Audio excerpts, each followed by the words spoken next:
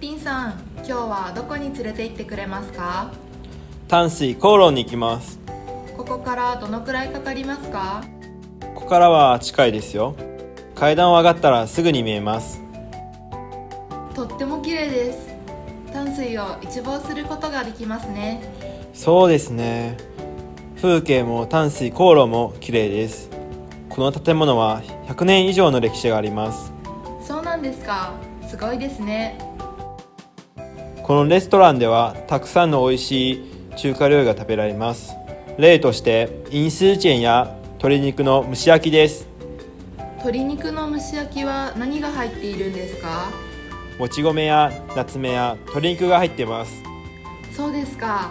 美味しそうですね。はい。とっても美味しいですよ。食べ終わったら何をしましょうか？写真を撮ったり散歩をするのはどうでしょうか？いいですねでは先に食べましょう。